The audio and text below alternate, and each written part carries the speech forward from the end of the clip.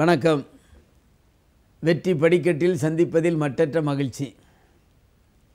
ஏராளமான கருத்துக்களை கதைகளை உங்கள் மனதில் பதிய வைக்க வெற்றி படிக்கட்டு நிகழ்ச்சியில் பேசி வருகிறேன். வாழ்க்கை பயணத்தில் எவ்வளவோ அனுபவம். அந்த அனுபவத்தில் கிடைத்த பாடங்களை மனதில் நிறுத்தி நாம் வாழ்க்கையில் வெற்றி பெற வேண்டும். வாழ்க்கையே அனுபவம்தான். எதற்கு சமுதாயத்தில் மதிப்பு அதிகம்? வைரம் பாய்ந்த மரத்திற்கும் மதிப்பு அதிகம். அதை போலே வயதாகி அனுபவமிக்கவர்களுக்கும் மதிப்பு அதிகமாக இருக்கும். எனவே இந்த மதிப்பு அதிகமாக இருக்கின்றவர்கள் வாழ்க்கையில் சில நேரங்களில் எப்படி இக்கட்டான சூழ்நிலையை சமாளிக்கிறார்கள். அதைத்தான் அனுபவம் என்று நாம் சொல்லுவோம். ஒரு வயதான கிழவி தன் வீட்டில் வளர்கின்ற அந்த மாடுகளுக்கு புல் வேண்டும் என்பதற்காக வெயில் காலத்தில் சென்று அதை அறுத்து கொண்டு தலையில் சுமந்தபடி வந்து கொண்டிருந்தார்கள்.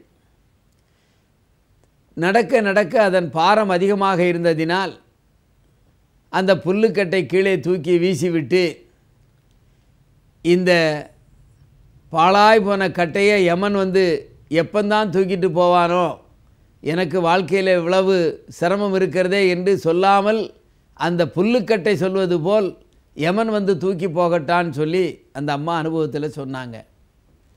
இந்த வார்த்தை யமனுக்கு கேட்டுவிட்டது.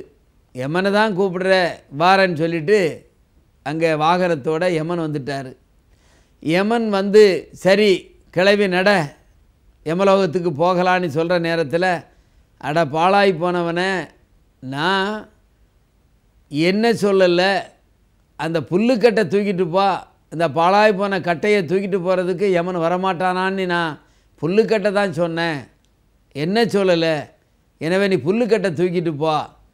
இப்போ புல்லுக்கட்டை தூக்காட்டு இந்த உன் வாகனம் அந்த புல்லை மேஞ்சிட போகுதுன்னு சொல்லி அந்த கிளவி சொல்லிச்சு யமனுக்கு உண்மை தெரிந்திருந்தாலும் இந்த அனுபவசாலியான கிழவி எவ்வளவு சாமர்த்தியமாக நம்மிடமிருந்து தப்பிப்பதற்காக வார்த்தையை சொல்லுகிறார் என்று அந்த யமன் ஆச்சரியப்பட்டான்.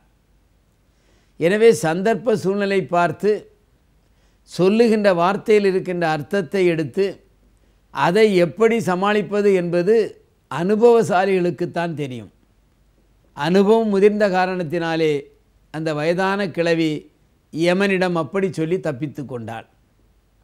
நாமும் வாழ்க்கையில் சில நேரத்தில் வேகமாக பேசிவிடுவோம். விவேகம் இல்லாமல்.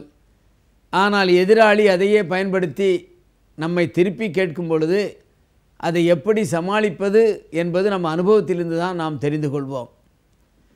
பலரிடம் பேசி பழகுகின்ற நேரத்தில் வருகின்ற அனுபவம் நம்மை அங்கே வெற்றி காணச் செய்யும்.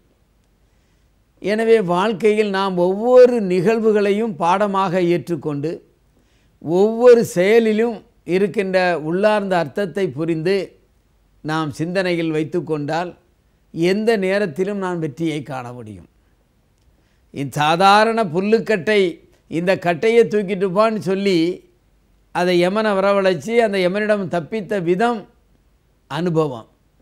எனவே வாழ்க்கை பயணத்தில் நாம் எதையும் தெரிந்து கொள்ள வேண்டும் புரிந்து கொள்ள வேண்டும் நிகழ்வுகளை மனதில் தாங்கிக் கொள்ள வேண்டும். அப்படி என்று சொன்னால்தான் சில சந்தர்ப்பத்தில் நாம் இக்கட்டான சூழ்நிலையில் நம்மை காப்பாற்ற முடியும். சொல்லுகின்ற சொல்லும் அருமையான கருத்தாளம் உள்ளதாக அல்லது மற்றவர்களை புண்படுத்தாத வார்த்தைகளை நாம் பயன்படுத்த வேண்டும். அனுபவம் எப்பொழுதும் வெற்றியை தரும்.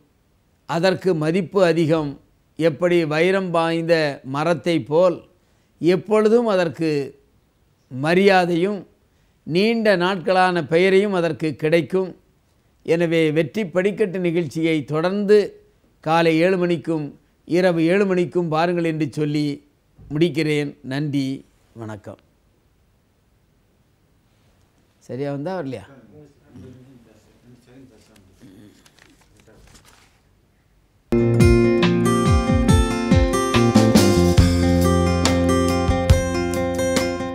வெற்றி படிக்கட்டு புத்தகம் அனைத்து வசந்தன் கோக்கிளைகளிலும் கிடைக்கும். ரூபாய் நூற்று ஐம்பது மட்டுமே.